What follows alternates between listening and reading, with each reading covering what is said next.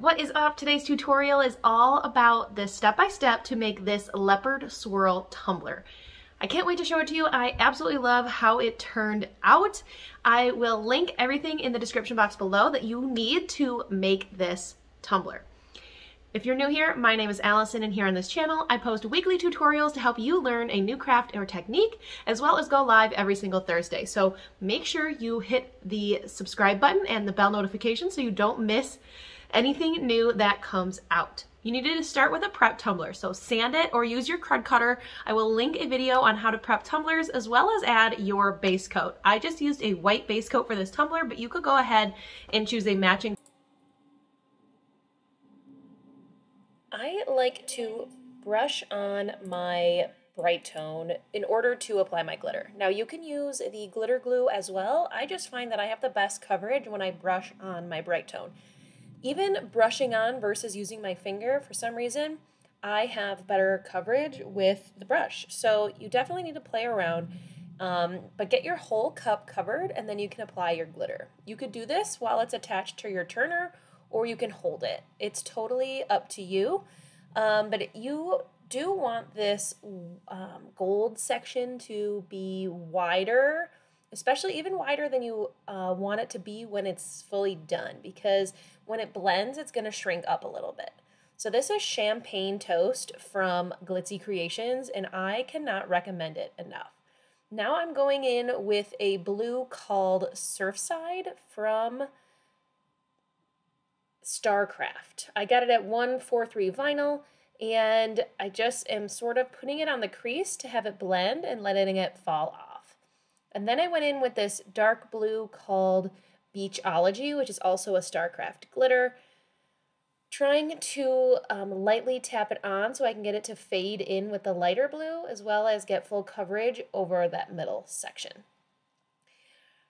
I ended up doing this blue and then deciding to go back in with the light blue because I felt like I was sort of losing that light blue. So I just kind of went back and decided to go in again and help fade it even more with the light blue. And I think it turned out pretty good. I even went back into with a little bit more of the gold. Um, on a different cup, I actually went in with a fine gold, which I probably would recommend. I can recommend Golden Sand from um, Glitzy Kreations as well, so you don't get too much chunky all at one time. So you're going to need to let this dry for four hours. And once it's dry, you're going to brush off any excess glitter and seal it with the glitter glue. So I just take this like Wet n Wild brush, any, you know, dry brush will work to get any excess off that cup. And then I'm going to spray on my glitter glue. I like to spray when I have multiple colors and it's just two parts of glue mixed with one part water. And I'm going to spray it so the cup is fully covered and I'm going to let it dry for two hours. Anytime you use the glitter glue, it needs to dry for two hours.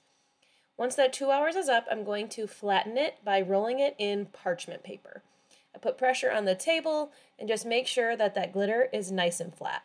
And then something I do when I have chunky glitter is I spray first and then I go over it with the glitter glue in a damp brush. Now this part is optional. You don't have to seal twice. I just like to do it when I have a chunky glitter so I can make sure that it is super, super flat. So I'm just going to saturate the cup with a with the glue and a wet brush so it is fully covered. And again, we're going to let it dry for two hours. And then you can flatten it again. I just roll it in the parchment paper and I've also been liking using this brayer roller, which is just a rubber brayer. You can find it in the paint section of any like Michael's or Joann's. I will link this one down below. It's the speedball kind, but the brand really, really doesn't matter. I just think that you can really get good pressure with the roller and make sure that that glitter is super flat and it's not going anywhere because now I have sealed it twice so it won't contaminate each other. So let me show you just how flat this is. Like you want it to be super, super flat. Otherwise the chunky is going to take you like just a really long time. So then you're ready for your Brite Tone.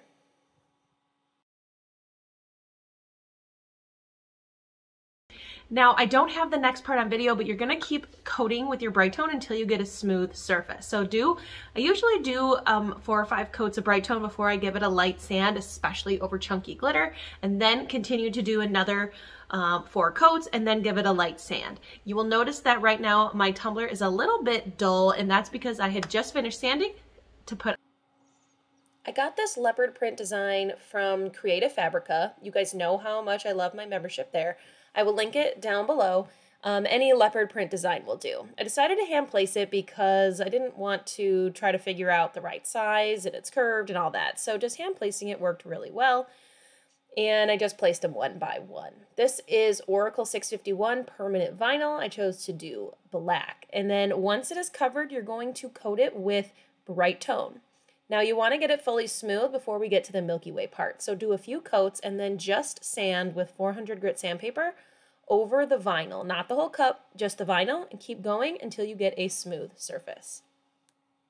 And then it's time for the Milky Way portion of the tumbler once you get a smooth surface. I'm using this blue from Glitter Chimp and white just from Amazon. I will link both below. And I am using my Extreme Protection for this. You can use Brite Tone as well. Just know it doesn't take a lot of powder, um, but you want to have it enough so it's not super transparent, but it will be a little transparent. So just add enough so you get a good consistency and good color and mix it up. But you'll see I just take a little popsicle stick and dump it in there and mix it up. This blue went actually perfectly over the blue glitter that I chose. Now, I chose to do this mica powder and create a softer look, but you could use paint, you could use the CrystaLac pigments if you wanted it to be a little bit more bold. You're going to start by doing a coat of your Brite Tone or extreme protection. It doesn't really matter. And coat the cup with your top coat. Then you're just going to kind of spoon on your mica powder mixes. I'm using a popsicle stick and I'm doing it in the diagonal pattern that I want it to be in. Now, I'm going to do the blue and the white.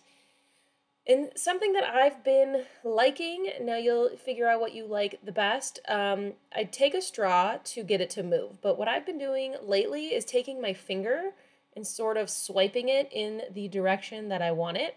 And I like the look that gives when I do my finger first and then grab my straw and soften up those lines. That's just something I've been enjoying lately. But you could just use your straw, you could just use your finger. You know, you'll get used to what makes you happy with your cups. Let this spin for a couple hours and let it dry overnight. And I finish up my Milky Ways with a few coats of Brite Tone over the top just to get that extra shiny surface.